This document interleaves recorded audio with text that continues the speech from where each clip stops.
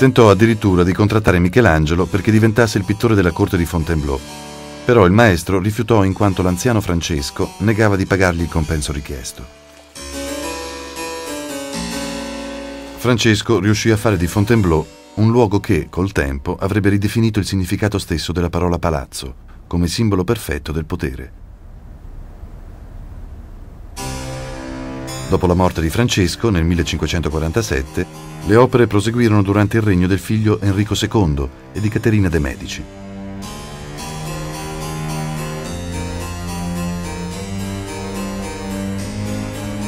La regina non sapeva che Enrico avesse come amante Diana de Poitiers, però, come chi tenta il destino, il re fece incidere le iniziali delle due donne negli affreschi che decorano il soffitto. Tuttavia anche la regina Caterina aveva dei favoriti. Uno dei suoi invitati abituali a Fontainebleau era Nostradamus, che predisse con esattezza la morte del re in un duello avvenuto l'anno 1559, quando occupava il trono da soli 12 anni.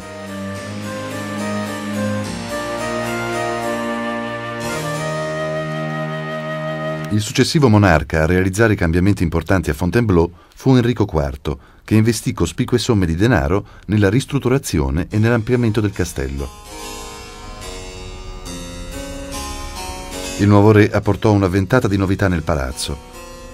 Tornò a decorare molti degli antichi appartamenti secondo l'ultima moda e aggiunse due ali alla già gigantesca residenza reale.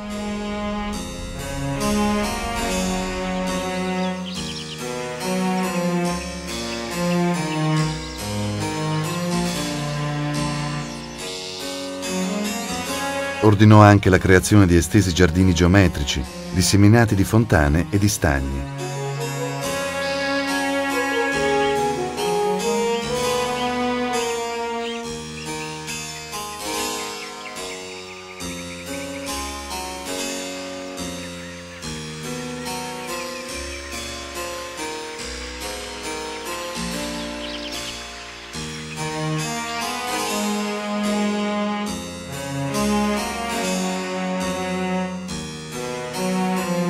Terminati questi lavori, Fontainebleau aveva raggiunto finalmente l'aspetto che conserva oggi.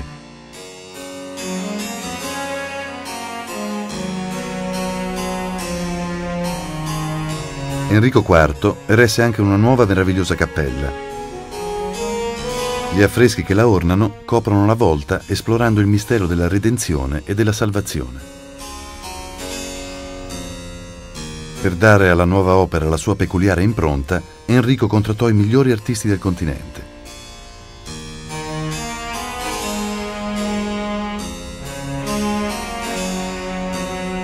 Il loro lavoro ebbe come risultato un ineguagliabile insieme di affreschi, sculture e legni intarsiati.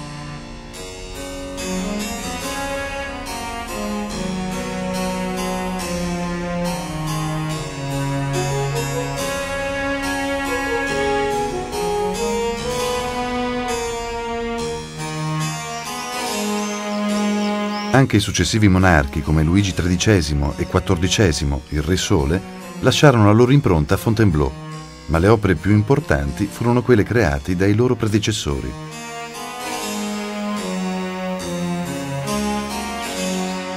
Luigi XIV fu più interessato a restaurare i giardini che il palazzo.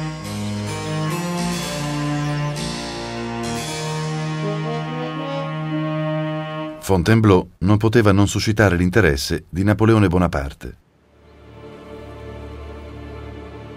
Dopo essersi autoincoronato imperatore, ridisegnò alcuni settori dell'interno del palazzo.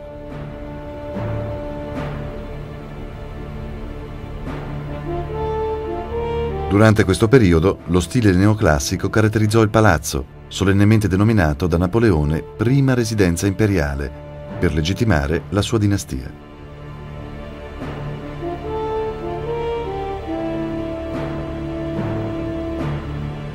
Percorrendo da un capo all'altro la biblioteca poteva decidere, su una mappa da lui stesso realizzata, quale regione del mondo avrebbe fatto sua.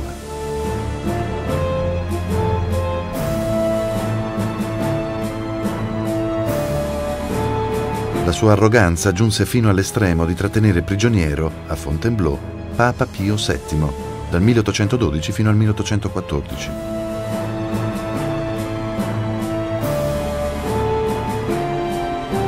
Fontainebleau era stata il simbolo del suo potere e sarebbe stato anche lo scenario della sua caduta.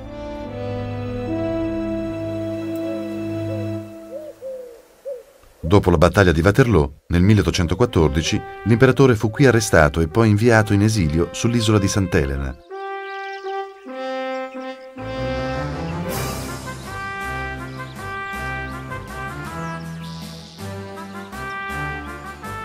Però la storia di Fontainebleau era lungi dall'essere terminata. Occupato dai nazisti durante la Seconda Guerra Mondiale, servì più tardi da residenza del quartier generale delle forze alleate dal 1945 fino al 1965.